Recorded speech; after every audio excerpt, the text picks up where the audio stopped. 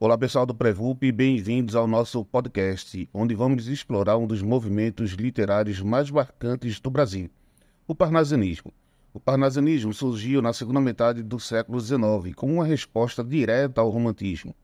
Enquanto os românticos valorizavam a emoção, a subjetividade e a liberdade formal, os parnasianos propunham um retorno ao rigor estético, à objetividade e ao culto da forma perfeita. O lema Arte pela Arte sintetiza bem a filosofia do movimento que defendia que a literatura deveria ser valorizada pela sua beleza formal, e não por seu conteúdo emocional ou por suas mensagens sociais. No Brasil, o parnasianismo ganhou força especialmente na poesia, com figuras centrais como Olavo Bilac, Raimundo Correia e Alberto de Oliveira. Esses poetas foram influenciados pela escola parnasiana francesa. Um dos principais lemas é, da poesia parnasiana é a busca pela beleza, que se manifesta através de descrições minuciosas e de um apreço quase obsessivo pela perfeição formal. As obras são repletas de referências à mitologia clássica e à arte renascentista, refletindo um desejo do retorno aos valores da antiguidade e à pureza estética. O soneto, com sua estrutura rígida de 14 versos, foi a forma preferida dos parnasianos sendo considerado o modelo ideal de rigor e perfeição. Olavo Bilac, o príncipe dos poetas, é também o mais representativo do movimento no Brasil.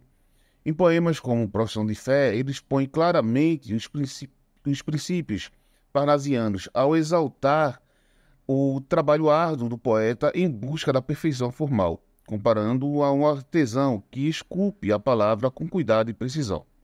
Mas, apesar de sua busca pela perfeição, o parnasianismo foi criticado por seu distanciamento das questões sociais e humanas, sendo considerado por muitos como um movimento elitista e desprovido de engajamento. Essa crítica ficou ainda mais evidente com o surgimento do modernismo, no início do século XX, que se opôs veementemente aos valores parnasianos, propondo uma poesia mais livre e conectada com as realidades do Brasil. Ainda assim, o parnasianismo deixou um legado importante na literatura brasileira, com sua ênfase na técnica, no rigor formal e na busca pela beleza.